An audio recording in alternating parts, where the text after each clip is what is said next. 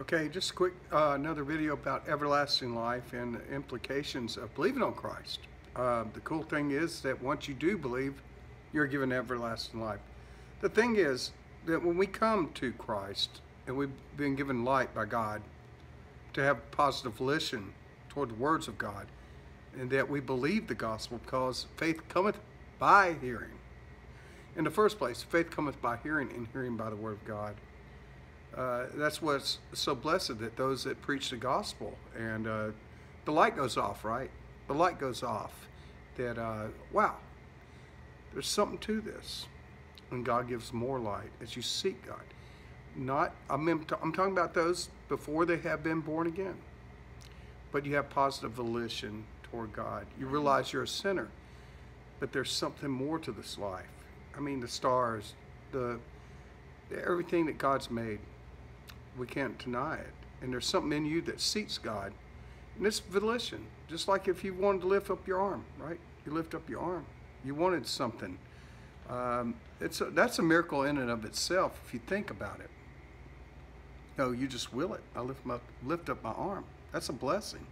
A lot of people cannot do that. It's the same in salvation. We've been given volition to believe on Christ.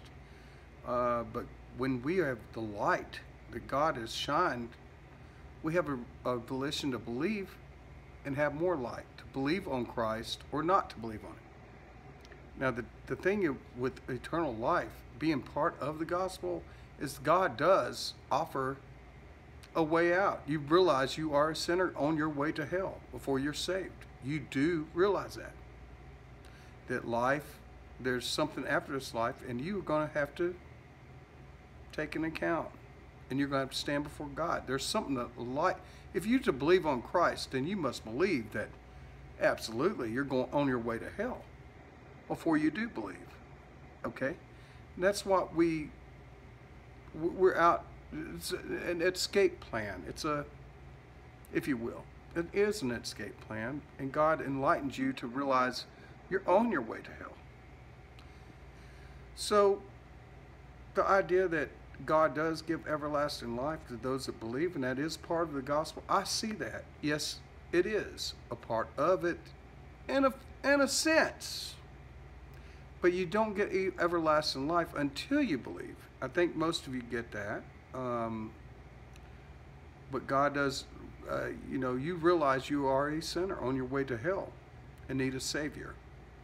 So we, by the God, the grace of God, He enlightens us we, as we have positive volitions to the words that we heard, faith cometh by hearing, and hearing by the word of